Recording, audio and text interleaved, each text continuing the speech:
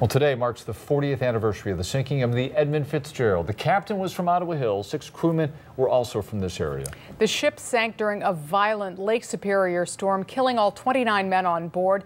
And even though the tragedy was the biggest maritime investigation in Great Lakes history, the cause remains a mystery. 13 ABC's Lisa Guyton has been covering the story for more than 20 years. And tonight, Lisa takes us to a museum in Michigan that's closely tied to the tragedy.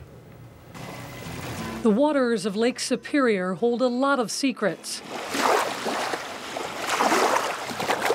One of the biggest mysteries is what happened to the Edmund Fitzgerald.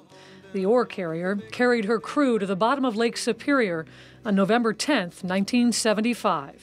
The lake, it is said, never gives up her dead when the skies of November turn gloomy. This is part of the Coast Guard radio transmission from that night. It looks from the information that we have that it's uh, fairly certain that the uh, that the uh, Fitzgerald went down, and uh, we're talking now about uh, a matter of life and death and looking for survivors that might be in life rafts or in the in the water. Of course, there were no survivors, and today, so many unanswered questions remain. I think that's part of the attraction of this story and of this shipwreck, this mystery uh, that has just not been solved yet. The wreck of the Edmund Fitzgerald sits about 17 miles offshore here at Whitefish Point, Michigan. As you can see, it is still a very busy shipping lane for Great Lakes freighters. Today is a beautiful fall day. Of course, it was a much different story on November 10, 1975. One of the worst storms these waters had seen in decades was in full force. These waves are two to three feet. On the night the Fitz went down, waves were at more than 30 feet, with winds at 90 miles an hour. Cheryl Rosman's father, Ray Cundy, was a watchman on board the Big Fitz. He started sailing at an early age and he really loved it. He thought it was a real, real privilege to be serving on the Fitzgerald. She vividly remembers the last time she saw her father.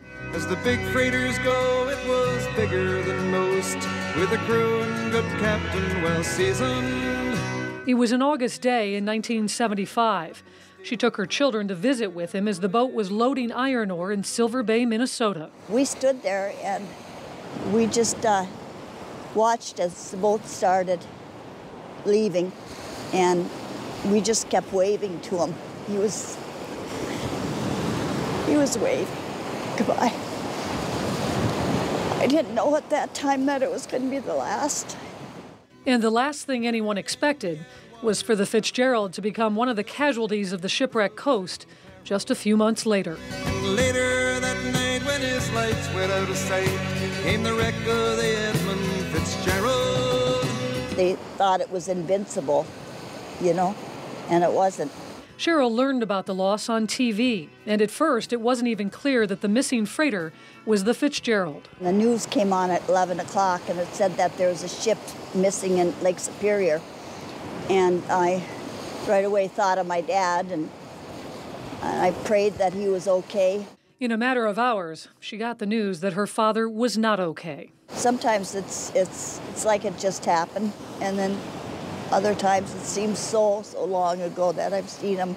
The theories about what happened range from the ship scraping bottom on a shoal to the wicked weather conditions that night or a series of rogue waves.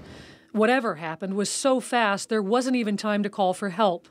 The Coast Guard investigation of the tragedy is the biggest in Great Lakes history. The bottom line is that ship uh, was doing what, what it had done so many times before, uh, but there were a series of factors that we don't all completely understand.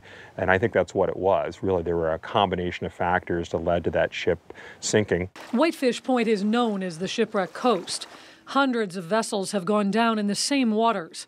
But the Edmund Fitzgerald is what brings most people to the museum that sits along the shore. People don't always realize that this ship is this close, and I think it makes it all the more real to them. The Great Lakes Shipwreck Museum has brought comfort to Cheryl and many of the other people who lost loved ones. Inside its walls sits the Fitzgerald's bell. We don't have our, our men, and we needed something that we could touch or look at. It was retrieved from the wreckage in 1995. The bell came up and it clanged as soon as it hit the water.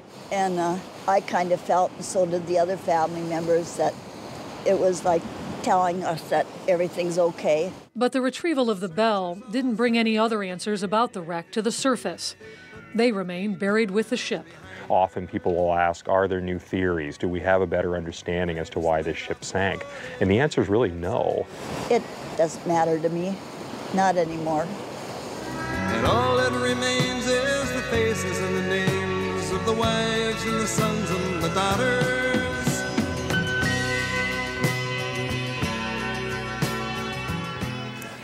Now, the wreckage is in Canadian waters and it is a legal gravesite, meaning no one can dive on it. That's something the victims' families fought to accomplish for years.